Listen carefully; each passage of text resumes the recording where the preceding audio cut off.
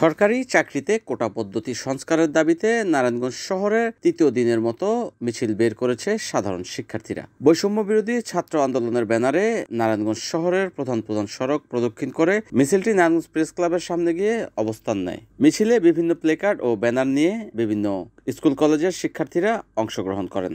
মিছিলে আমার সোনার বাংলায় বৈষম্যের ঠাঁই নেই, চেয়েছিলাম অধিকার, হয়ে গেলাম রাজাকার ইত্যাদি স্লোগান দেন শিক্ষার্থীরা।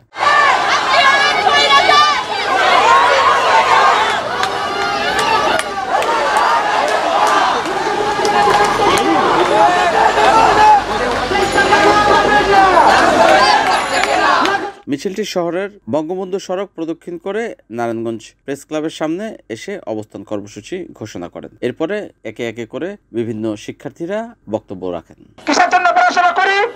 আমরা দেশকে একটা উন্নত রাষ্ট্রের পাশাপাশি দেশকে বাইরের রাষ্ট্রের ভিতরে আমরা রিপ্রেজেন্ট করব।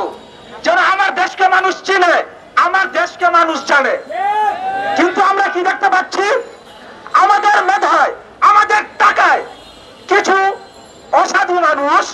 তারা তার শুধু কোটার জোরে অযোগ্যতা দিয়ে তারা চাকরি নিতে চাচ্ছে আমি বলতে চাচ্ছি যারা অযোগ্য তারা আমার দেশকে কীভাবে রিপ্রেজেন্ট করবে?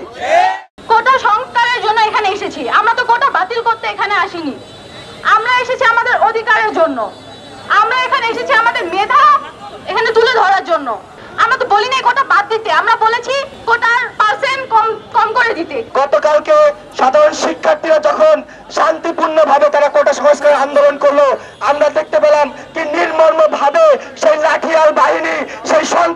আমাদের শিক্ষার্থী ভাই বোনদের উপর কি নির্মর্ম নির্যাতন এবং হামলা চালিয়েছে।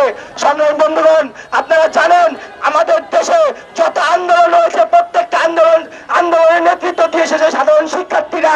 আজকে যারা রাজাকার বলছে, আজকে যারা স্বৈরাচার বলছে, আমরা বলতে চাই, এই স্বৈরাচার, এই রাজাকারের জন্যই আজকে সাধারণ শিক্ষার্থীরা রাস্তায় নামছে। তারা কোটা